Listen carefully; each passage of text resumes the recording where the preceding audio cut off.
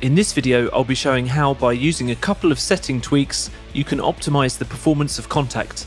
Do subscribe for more videos like this and ring the bell to keep up to date with our notifications and deals.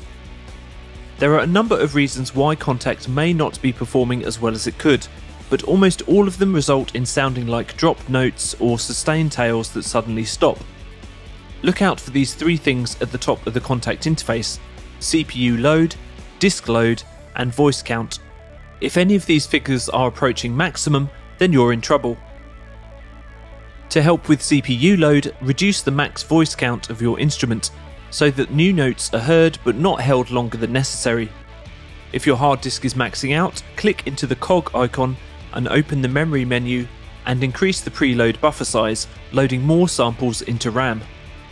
If RAM and CPU readings are fine, but you're still hearing dropped notes, increase the max voices until it's enough to cover the playback of all of your notes. Tell us in the comments your favourite ways to optimise Kontakt performance.